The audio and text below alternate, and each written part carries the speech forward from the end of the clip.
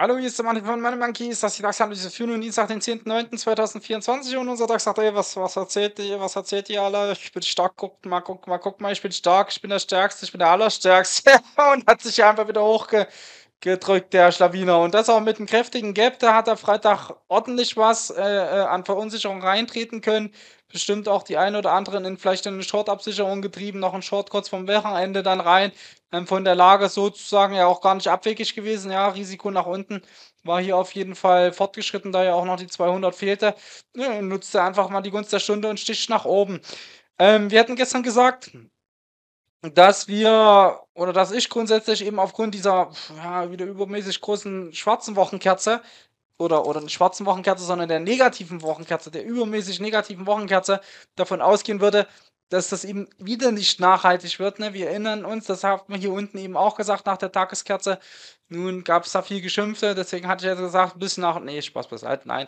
Ich hätte das auch so gesagt, wenn es hier kein Geschimpfe gibt. Es war ja auch berechtigt, der hat ja wirklich nochmal Dampf abgelassen hier, ja.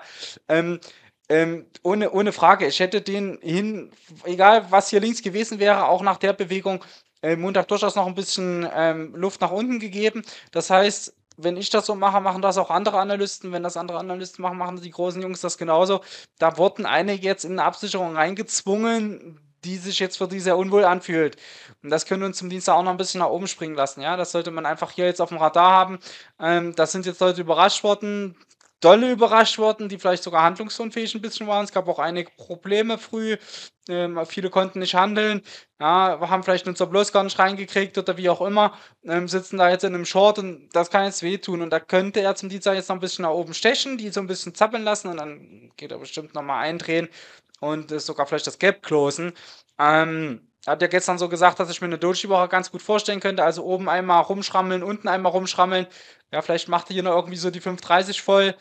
Er stößt sich runter, aber an sich ist 470, das ist schon, er hat schon ein super Niveau, um wegzudrehen. Er ist bloß noch nicht weggedreht. Ja, müsste jetzt 140 zurückfallen.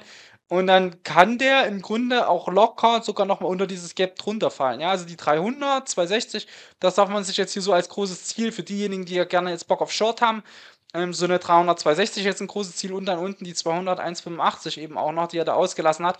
Er muss plus eben nach unten antriggern. Er muss unten reinsetzen und das hat er nicht. Und wir haben hier gesagt, für den Montag, wenn er nach 39, nach 10 Uhr neue Tageshochs macht, wäre das indikativ für eine Erholung rein in die 420 und 470. Das haben wir gesehen. Genau das haben wir gesehen.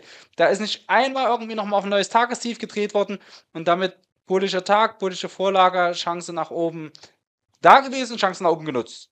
So muss man es betrachten, was er jetzt gemacht hat. Und so wird es zum Dienstag eben auch wieder rangehen. Hier könnten wir jetzt die Kante unten auf die 440 ziehen.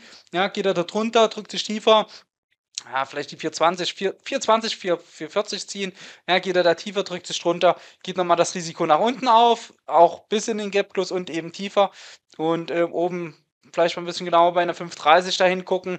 Ja, nicht, dass er sich dann da einfach wieder nach unten wegstößt. Ähm, aber es sind Leute überrascht worden. Also das das fieseste und DAX-typischste, was er machen könnte, wäre sogar noch gleich eine, eine Luzi drüber zu stellen in die, keine Ahnung, 18700 rein. Könnte sogar hier oben irgendwie wieder in die Mitte, also richtig Mistvieh-mäßig wie hier unten. Und dann von dort nochmal nach unten ziehen, neues Wochentief, dann gegen Ende der Woche nochmal rein und wieder zurück. Als plant hier mal wirklich noch ein bisschen Geschrubbe ein. Das ist nicht ganz koscher, was er hier gemacht hat. Ja, also versucht jetzt hier Leute abzuschütteln. Da kann schon ein bisschen der große Verfall jetzt im, im, im, im Spiel sein mit ne, der große September-Verfall, den wir uns nähern. Da kann schon so ein bisschen dahin gehen, dass man hier versucht zu manipulieren, die, die Leute so ein bisschen in die falsche Richtung zu drücken. Und das sieht man aber in der Regel dann aber auch auf beiden Seiten, ja, dieses Hin- und Hergeschubse. Und von daher, lasst ihr ein bisschen machen, begrenzt euch nicht zu viel von wegen der kann und darf nicht und so, ne, sondern klar abgrenzen, Bereiche setzen, darunter so, darüber so. Und wenn dann, ja, also wir eben klar Vorlage nach oben gewesen, klare Long-Vorlage, gibt es ganz ehrlich zu, für mich nichts, wo ich gerne Long gehandelt hätte hier drin, ja, aber ähm, er hat es halt wahrgenommen, es ist keine Short-Vorlage gewesen, in keinem der Punkte halt, ne, außer vielleicht an den 420, 470 hier die roten Stundenkerzen, die man hätte probieren können, ja, aber bleibt er, versuch, versucht sauber zu bleiben, wie gesagt, oben 5,30 nochmal eine schöne Stelle, um abzudrehen. Ansonsten äh, wenn er die Leute raushauen will, die er überrascht hat, dann muss er schon fast über eine 600, 700 auch drüber gehen. Ja, dann könnte er sich am Dienstag vorlegen, die Mittwoch rausschmeißen, komplett wieder umkippen, Donnerstag ein neues Wochentief setzen, Freitag wieder nach oben zurück in die Mitte auf Start und fertig, fertig wäre eine fast perfekte Woche für einen DAX im Vollverarschungsmodus, kurz vorm Verfall. Ja, von daher 600 und 700 sind oben die wichtigen Ziele, 530 ganz wichtig hingucken, unten 440 als Signalgeber für tieferes, Gap dann hier 300, 260 als Hauptziel und eben dann 200, 185. Dann können wir es eigentlich so stehen lassen. Ja, und versucht sich wirklich auf beides ein bisschen einzustellen. Ähm, versucht da nicht zu fix im Kopf zu sein, dass jetzt das ein oder andere unbedingt muss. Es ist halt, wir nähern uns im US-Wahlkampf, wir nähern uns zur US-Wahl, sind im schwachen Quartal. Das ist halt jetzt ein Ziehen und Wirken und auch ganz natürlich für diese ähm, für diese Jahres- oder für diese Saisonalität in diesem Sinne.